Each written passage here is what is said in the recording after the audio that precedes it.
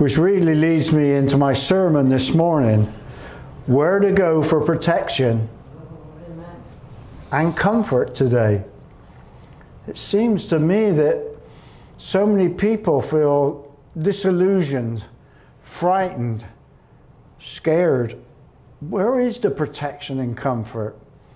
Ephesians 6 1 says, For our struggle is not against flesh and blood, but against the rulers, against the authorities, against the powers of this dark world, and against the spiritual forces of evil in the heavenly realms.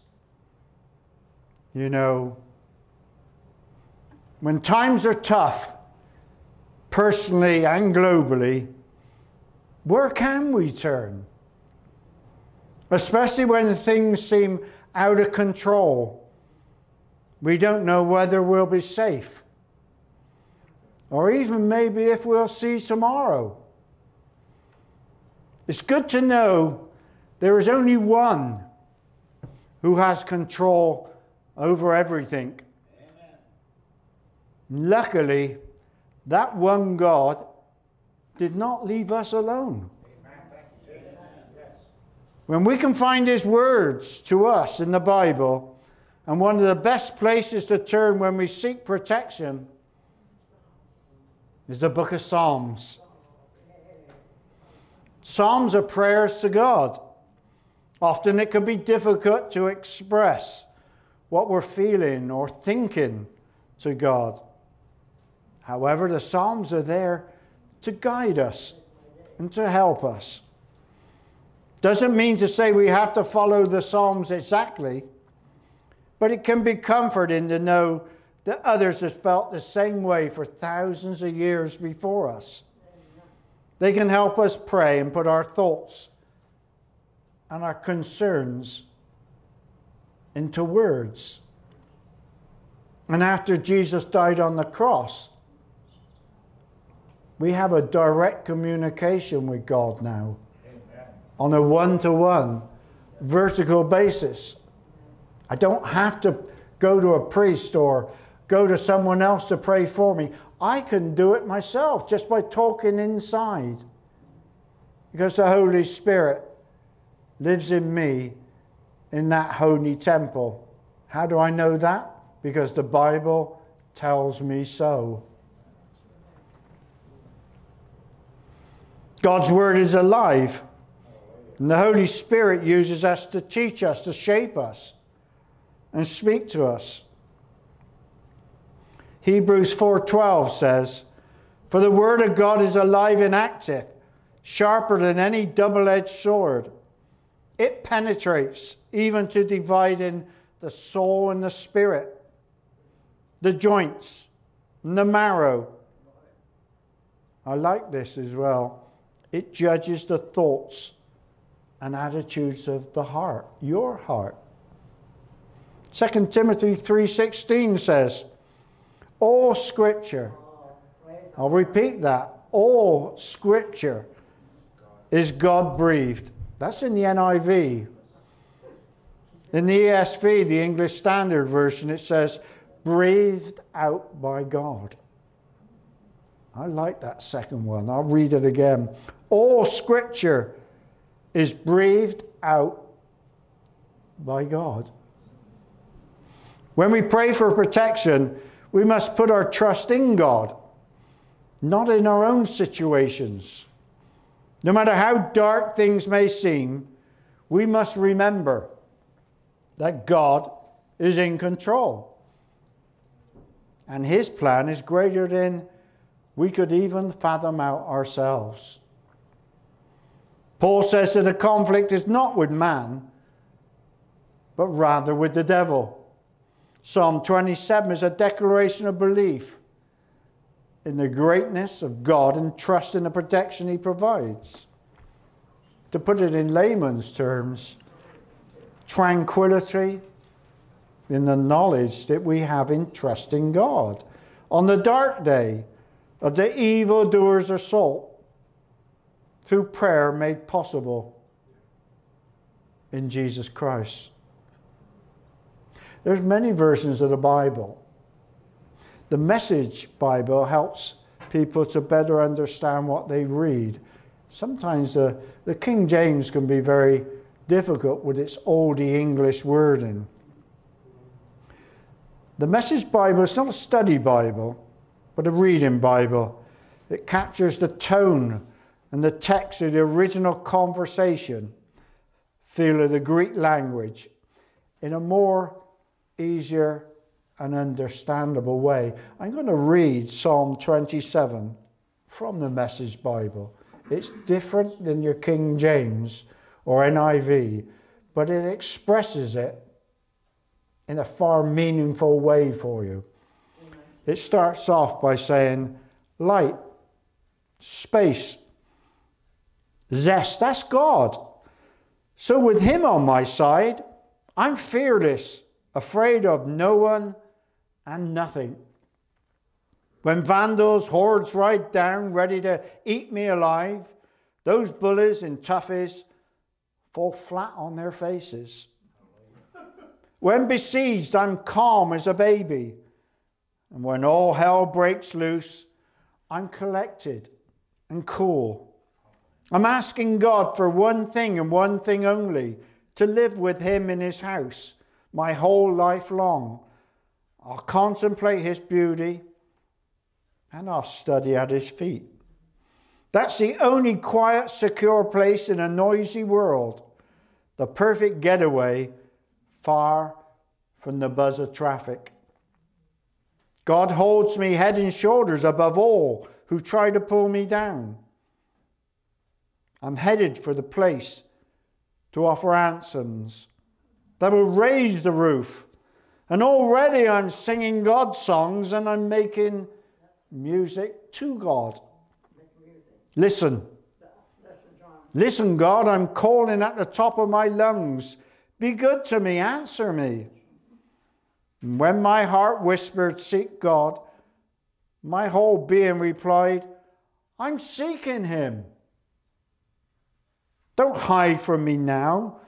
You've always been right there for me. Don't turn your back on me now. Don't throw me out. Don't abandon me. You've always kept that door open. My father and my mother walked out and left me, but God took me in. Point me down your highway, God. Direct me along a well lighted street. Show my enemies whose side you're on. Don't throw me to the God, dogs, God, those liars who are out there to get me, filling the air with their threats. I'm sure now that I'll see God's goodness in an exuberant earth. Stay with God. Take heart. Don't quit. I'll say that again. Stay with God. That was Psalm 27 from the Message Bible. Very powerful. In a more English way to say it, that has a lot more feeling and understandable in the way it was given in the beginning. David's faith in the power of God sustained him through many trials. Do not fear God because God is with you. He's inside of you. If you are saved, you are a holy temple that has the Holy Spirit dwelling in you. You are holy. The ground you walk is holy. The seat you sit in is holy because you have a holy person residing in you. 1 John 1 5 says, The Lord is light. In him there is no darkness. Isaiah 5:10, 50, 10 says, Who is among you that feareth the Lord, that obeyeth the voice of his servant, that walketh in darkness and hath no light? Let him trust in the name of the Lord and stay upon his God. 2 Samuel 22, 3 says, The God of my rock, in him will I trust. He is my shield and the horn of my salvation my high tower, and my refuge, my Saviour. Thou savest me from violence. Placing your trust in the Lord is what saves your life. We all experience difficult circumstances and troubling situations. We're, we're not free from it. We should have it every single day of our lives. Like the economy, the finances, jobs, sons and daughters, that could be problems, as we all know as parents. World affairs, today politics, elections, we know all about that today food prices, illness, even the weather. And they call that depression the winter blues. And believe you me, there is such a thing as the winter blues depression. How do I know? I'm just looking at the winter blues outside the door with the snow and the ice. Right. Lately, politics force you to make a choice. You're either far left or you're far right. There's no middle independence. Only enemies that need to be bullied, converted, and today I hear re educated. Amen. The Bible tells us that even in the midst of the turmoil, we may experience in our lives that God is good. We always trust in Him. First Peter 5 7 says, Give all your worries and cares to who? God for he cares about you.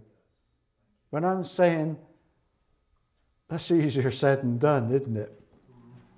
Handing it all over to him, turning your back, walking away, and saying, Lord, not my problem, all yours. I'm walking, I'm turning my back on it, and I'm leaving it on the cross. That's hard to do. Me and my wife have done that. So I know how hard that is, where you've done everything you can as a parent. And then say, Lord, this is beyond anything I can do. The only thing I could do is leave it with you.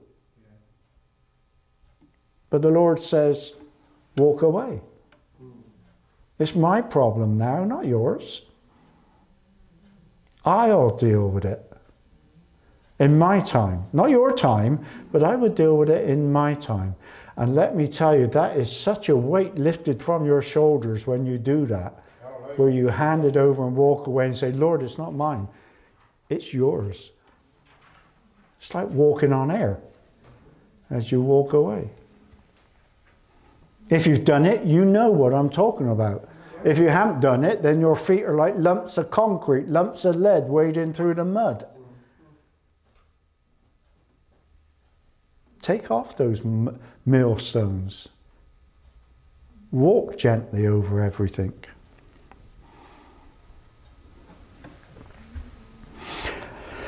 The Bible tells us that even in the middle of our turmoil, we may experience in our lives that God is good and we can always trust Him. When we pray, we want to give, or we would want instant solutions, don't we? We want it done, well, I finished the prayer, it's already done. I'm going to walk through that door and no, it's not. We want instant relief of freedom from anxiety. But it's a two sided sword God's part and your part. You have to believe that God is going to do it. And here's the best part you have to believe in yourself that He's going to do it. The first part's easy. The second part, believing in yourself that you can do it, that's the hard part. That's the part you can't give over. When we pray, we want to be relieved of our fears. Instant reassurance. God is listening to our prayer with peace in our hearts. Always listening to your prayer if you've got the heart of a prayer. If you don't believe what you're praying, don't pray. If you want something to happen, you believe it's going to happen, you pray with the confidence that it's going to happen. Not that it might, but you expect it to happen. Because Jesus said, Whatever you ask in my name, he will do. But God's timing is not our timing. Some people don't like to wait for God. Some people get impatient and try to force God's hand, but really is the only way to find true peace and satisfaction. You won't find it nowhere else, only through the Lord. Some people get impatient, force God's hand. God is good and God is faithful. Psalm 27 is a faithful prayer from David. God can be trusted in every situation and circumstance because David communes with God and sings with joy, with a joyful heart. You should be joyful and singing in God's presence. Because where is He? Here. You should have the joy of the Lord. You know, I can tell sometimes whether they have Christ or not just by looking at their countenance, just by looking at what they say. Looking at how happy they are. There should be no depressed Christians around because you have the joy of the Lord. Amen. And rely on that.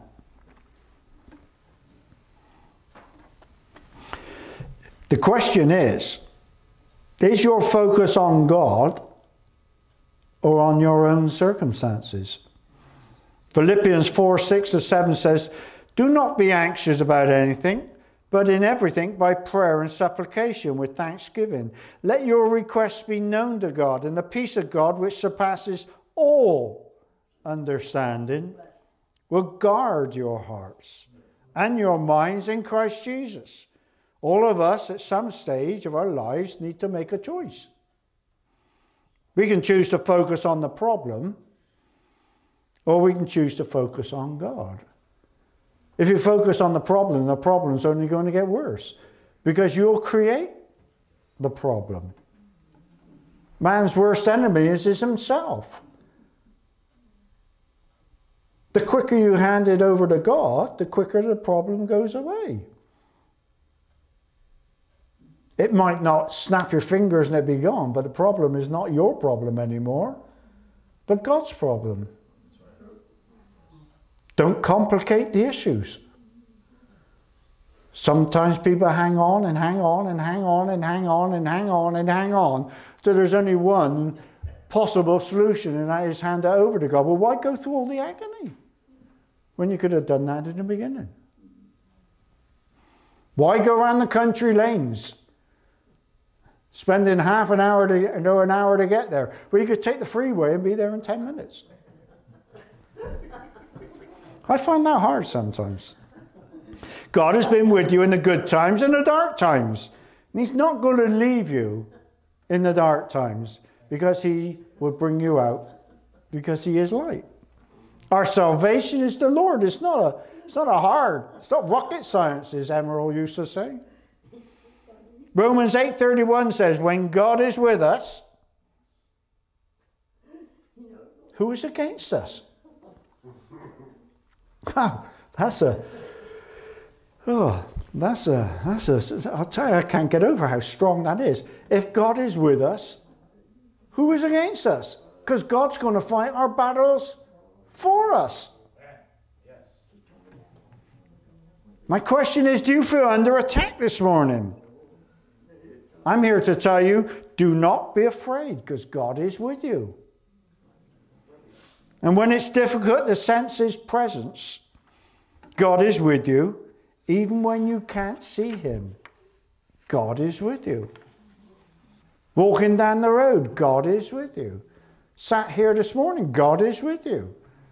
Go to work, God is with you. Why? Because God's inside of you. You have the Holy Spirit. Psalm 62, 6 to 7 says, he only is my rock and my salvation, my fortress. I shall not be shaken. O oh God, rest my salvation and my glory and my mighty rock. My refuge is God. God is all sufficient. We can trust His mercy, His grace, and His love in every circumstances during all the storms that we experience or will experience. Isn't it nice to know that things are going to happen before they happen, that God's already got them in control before you get there. And sometimes He sorted the problem out before you even know it existed.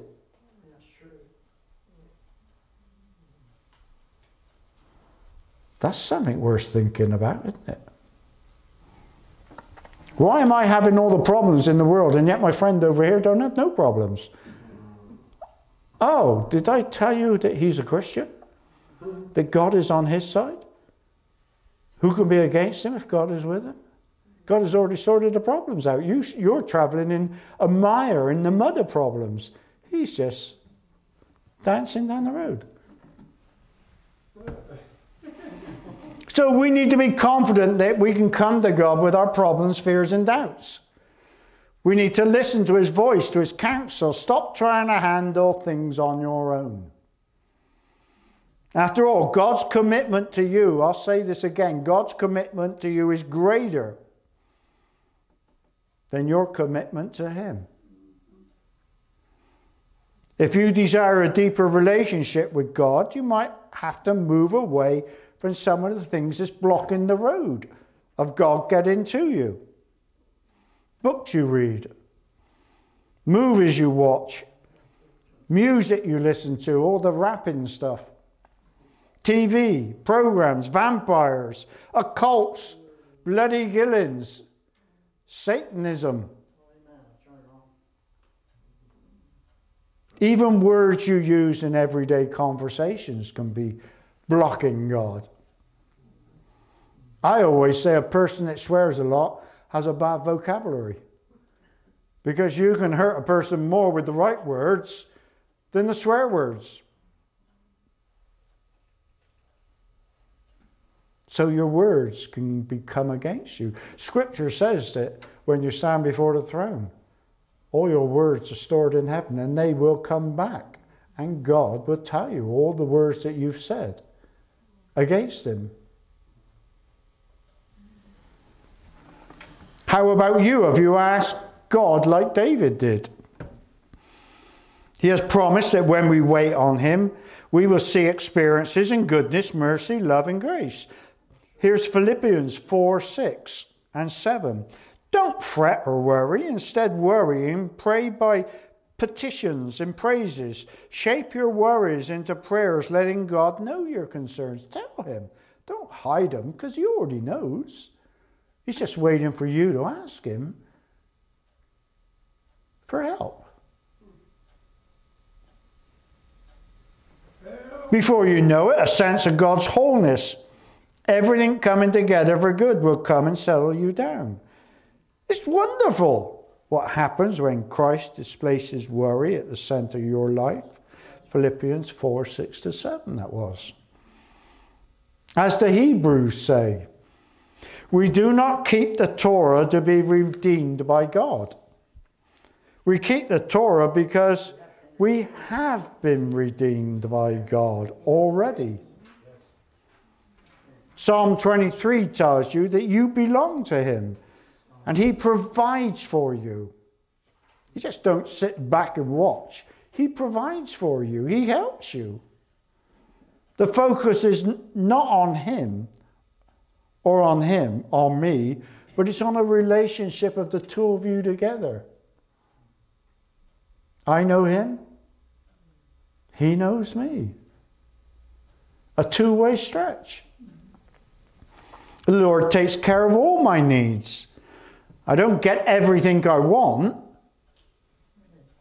but I'm not in want. Think about what you have at the moment. Think about the life you have at the moment. Think how much worse that life can be. Go to a third world country. Go to Africa. Go to other places and see how other people live. Brazil, children scouring the rubbish tip that's just come from your house from the garbage can, hoping there might be just a little chicken leg with a bit of meat on it that you threw out.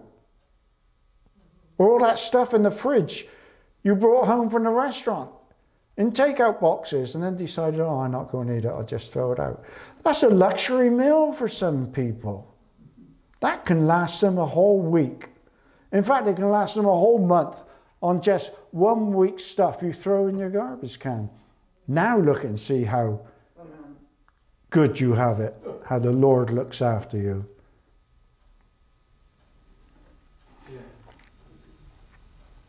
Ephesians 6 13, 14. Therefore, put on the full armor of God, so that when the day of evil comes, you may be able to what? Stand your ground. And after you have done everything to stand, stand again firm. That's Ephesians 6 13, 14. The evil will be in the heavenly realms. The armor protects the, the spirit that is inside of you. The world is taking notes on your life in order to malign you and criticize you. People watch you and try and trip you up.